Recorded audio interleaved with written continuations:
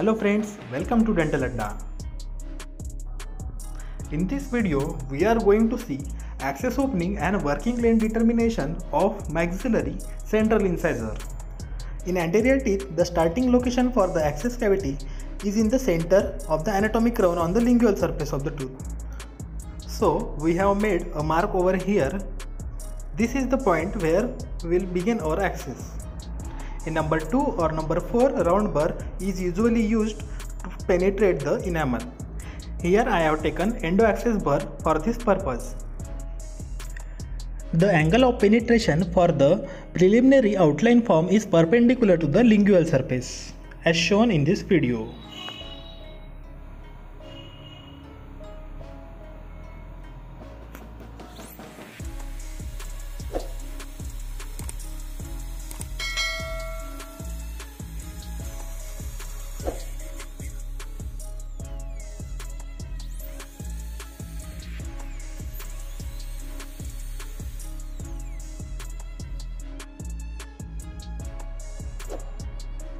The angle of penetration for initial entry into the pulp chamber is nearly parallel to the long axis of the root.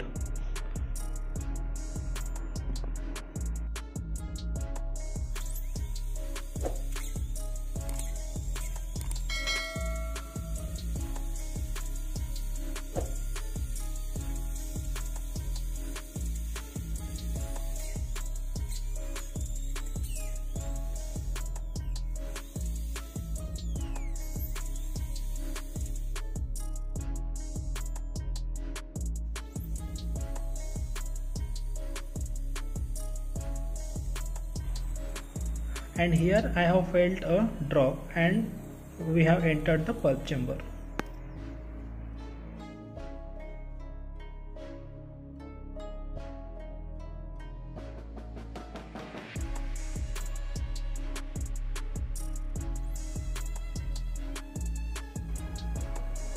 Some lingual withdrawal strokes are given to engage and remove the pulp horn.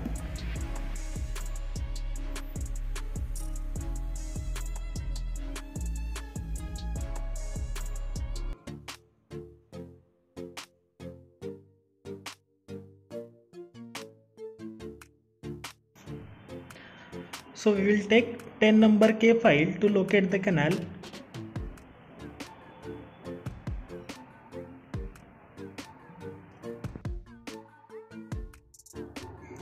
Here the file is entering the canal without any hindrance and this is called as straight line access. Now we will determine the working length of this tooth by using this portable X-ray unit and sensor. In case if you don't have sensor, we can replace it with the IOPA film. The tooth should be kept in this way only so that the X-ray should penetrate the tooth in labiolingual direction. So here is my X-ray. Let's see where my file is going. The file has been reached to the radiographic apex of the tooth. But ideally it should be 0.5 mm short of the radiographic apex.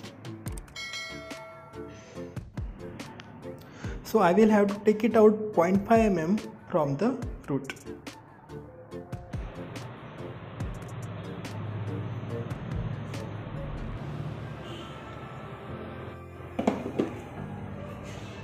Let's take another x-ray.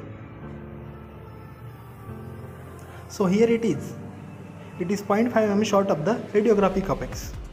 So in this video, we have covered access opening and working length determination of maxillary central incisor. Next step is biomechanical preparation which we will cover in the next video.